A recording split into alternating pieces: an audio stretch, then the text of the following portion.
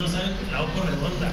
Y lo que les estoy diciendo ahorita se lo sostengo frente al director de transportes, Guillermo Hernández, Joel Gallegos, que yo les he hecho escrito que no tienen facultades. Esta ley está muy completa.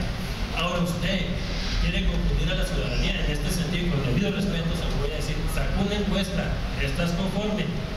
Debería usted exigir al Ejecutivo y al Judicial que tengamos primero seguridad.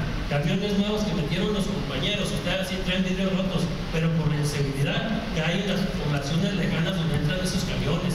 Fíjese, si usted estuviera realmente pendiente del trabajo de una servidora, vería que sí estoy peleando también para concientizar al usuario de que cuide las unidades nuevas que ustedes están aportando